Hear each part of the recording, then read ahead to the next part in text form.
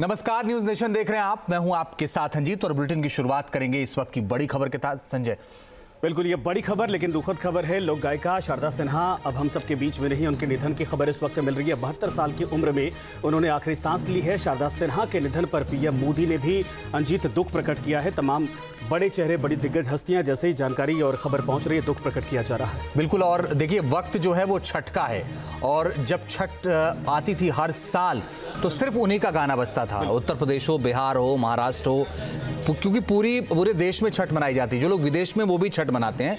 और यकीन मानिए, विदेशों में भी शारदा सिन्हा का ही गीत बजता था। लेकिन इस बार उनका स्वर शांत हो गया है। गाने उनके रहेंगे, लेकिन फ़िलहाल वो नहीं है। ये बड़ी खबर है, शारदा सिन्हा के निधन के बाद पटना में उनकी आवाज़ पर सन्नाटा छाया है। देखिए पटना से उत्कर्ष कुमार की रिपोर्ट। लोक गायक शारदा सिन्हा का आज दिल्ली में निधन हो गया। दिल्ली के एम्स में निधन हुआ है। देखिए, ये उनका पटना का घर है। हम तस्वीरें दिखा रहे हैं किस तरीके से इस घर की रौनक जो है वो छिन गई है, क्योंकि शारदा सिन्हा का निधन हो गया। कैंसर से वो पीड़ित थी। काफ़ी दिनों से उनकी तबीयत जो थी वो नाजुक थी। अब ऐसे में आज ही ये बात सामने आई थी कि वो वेंटिलेटर पर हैं और सुबह ही उनके बेटे ने, अंशुमन ने ये बातें कही थी। ये शारदा सिन्हा का घर है। यहाँ पर फ़िलहाल कोई नहीं रहता। अंदर एक केयर टेकर है। इसके अलावा इस घर में कोई नहीं रहता है। देखिए काफ़ी ज़्यादा अहम इसलिए भी होता है क्योंकि छठ महापर्व है और ऐसे में लोक गायक थी शारदा सिन्हा और काफ़ी ऐसे गाने उन्होंने गाए हैं छठ को लेकर जो काफ़ी प्रसिद्ध भी हुए हैं और ऐसे में देश के प्रधानमंत्री नरेंद्र मोदी ने भी उनका हालचाल पूछा था। उनके लिए एम दिल्ली एम्स में फ़ोन भी किया था, लेकिन अब ये घर जो है वो सूना हो गया ये वही घर है जहाँ शारदा सिन्हा आती थी तो छठ के गाने भी गाती थी, छठ भी करती थी, लेकिन अब ये घर जो है वो पूरी तरीके से सूना हो गया है। देखिए, साफ़ तौर पर इनका नाम भी यहाँ पर लिखा हुआ गया है। पद्मश्री, प्रोफेसर शारदा सिन्हा मूल रूप से सुपौल की रहने वाली थी और एक कह सकते हैं कि काफ़ी अच्छी लोक गायक थी लेकिन आज दिल्ली में नौ बज के अट्ठाईस मिनट पे उनका निधन हो गया। वीडियो जर्नलिस्ट सत्यन कुमार के साथ उत्कर्ष न्यूज़ नेशन पटना। और मधुरेंद्र कुमार हमारे सहयोगी ज़्यादा जानकारी के लिए इस वक्त जुड़ गए। मधुरेंद्र छठ का वक्त है। इस वक्त तो हम ये उम्मीद नहीं कर रहे थे।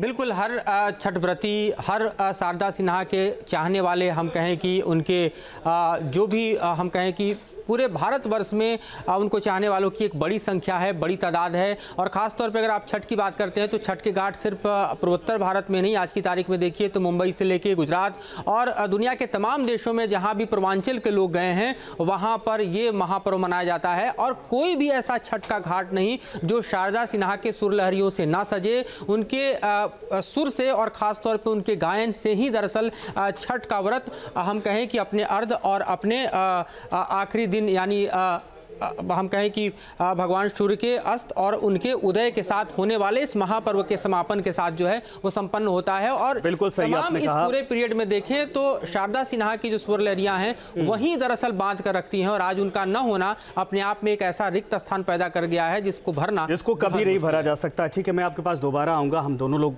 बारी बारी से आएँगे और समझने की कोशिश करेंगे जो उनका योगदान था लेकिन शारदा सिन्हा दुनिया को अलविदा कह चुकी हैं। ये संयोग ही है कि इस बार छठ महापर्व मनाया जा रहा है। शारदा सिन्हा अंजीत उनकी गीत गूंजेगी बिल्कुल। वो हम सबके बीच में नहीं। वो हम सबके बीच में नहीं होंगी। न्यूज़ नेशन अब व्हाट्सएप पर।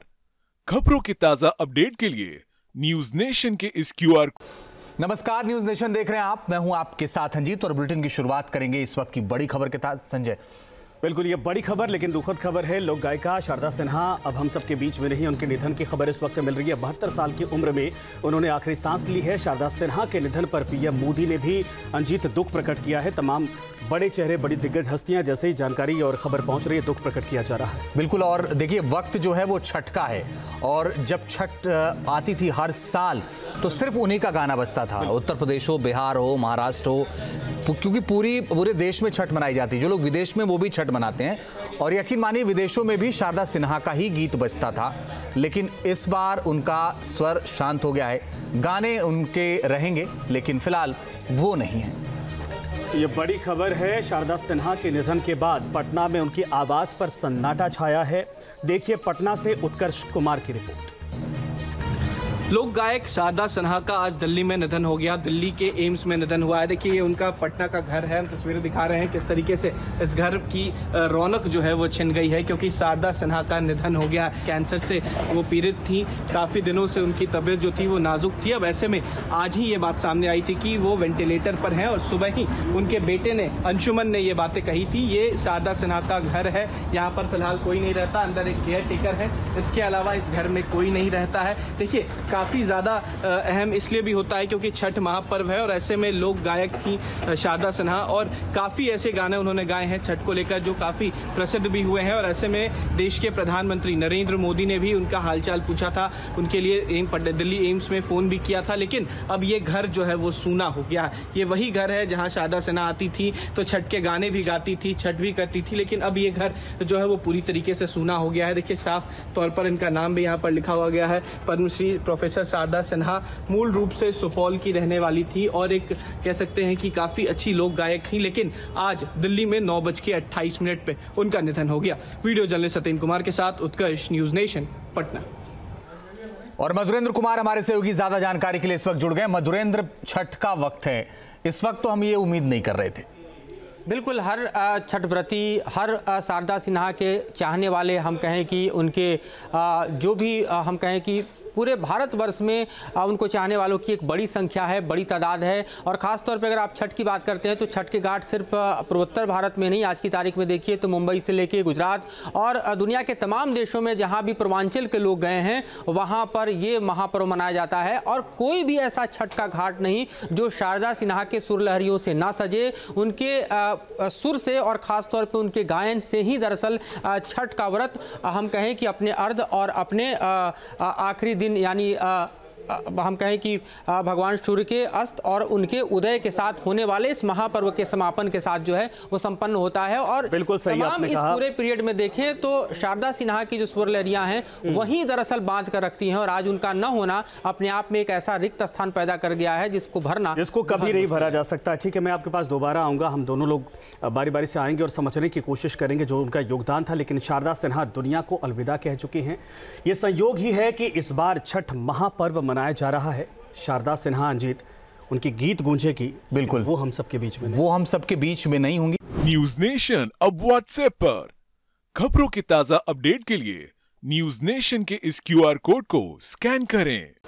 नमस्कार न्यूज़ नेशन देख रहे हैं आप। मैं हूँ आपके साथ अंजीत और बुलेटिन की शुरुआत करेंगे इस वक्त की बड़ी खबर के साथ। संजय बिल्कुल ये बड़ी खबर लेकिन दुखद खबर है लोक गायिका शारदा सिन्हा अब हम सबके बीच में नहीं उनके निधन की खबर इस वक्त मिल रही है। बहत्तर साल की उम्र में उन्होंने आखिरी सांस ली है। शारदा सिन्हा के निधन पर पीएम मोदी ने भी अंजीत दुख प्रकट किया है। तमाम बड़े चेहरे बड़ी दिग्गज हस्तियाँ जैसे ही जानकारी और खबर पहुँच रही है दुख प्रकट किया जा रहा है। बिल्कुल और देखिए वक्त जो है वो छठ का है। और जब छठ आती थी हर साल तो सिर्फ़ उन्हीं का गाना बजता था। उत्तर प्रदेश हो बिहार हो महाराष्ट्र हो क्योंकि पूरी, पूरे देश में छठ मनाई जाती है। जो लोग विदेश में वो भी छठ मनाते हैं। और यकीन मानिए, विदेशों में भी शारदा सिन्हा का ही गीत बजता था। लेकिन इस बार उनका स्वर शांत हो गया है। गाने उनके रहेंगे, लेकिन फ़िलहाल वो नहीं है। ये बड़ी खबर है, शारदा सिन्हा के निधन के बाद पटना में उनकी आवाज़ पर सन्नाटा छाया है। देखिए पटना से उत्कर्ष कुमार की रिपोर्ट।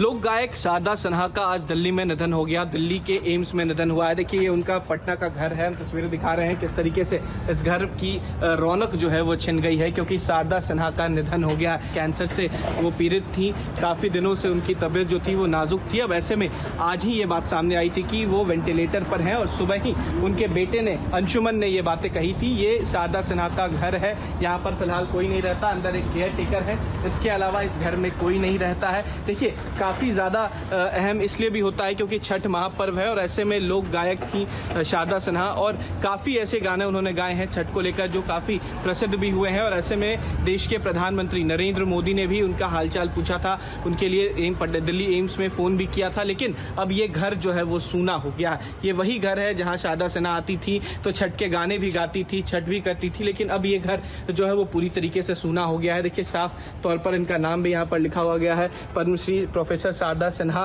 मूल रूप से सुपौल की रहने वाली थी और एक कह सकते हैं कि काफ़ी अच्छी लोक गायक थी लेकिन आज दिल्ली में नौ बज के अट्ठाईस मिनट पे उनका निधन हो गया। वीडियो जर्नलिस्ट सत्यन कुमार के साथ उत्कर्ष न्यूज़ नेशन पटना। और मधुरेंद्र कुमार हमारे सहयोगी ज़्यादा जानकारी के लिए इस वक्त जुड़ गए। मधुरेंद्र छठ का वक्त है। इस वक्त तो हम ये उम्मीद नहीं कर रहे थे।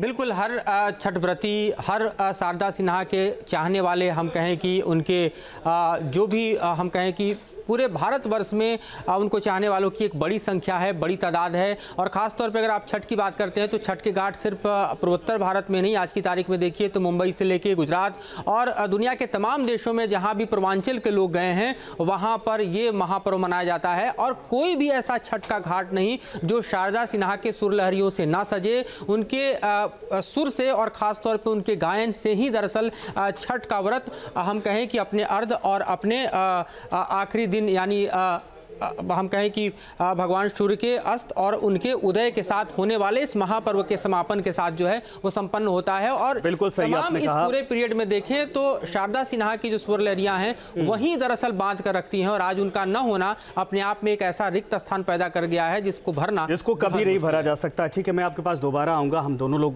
बारी बारी से आएँगे और समझने की कोशिश करेंगे जो उनका योगदान था लेकिन शारदा सिन्हा दुनिया को अलविदा कह चुकी हैं। ये संयोग ही है कि इस बार छठ महापर्व मनाया जा रहा है शारदा सिन्हा अंजीत उनकी गीत गूंजे की बिल्कुल। वो हम सबके बीच में वो हम सबके बीच में नहीं होंगी। न्यूज़ नेशन अब व्हाट्सएप पर।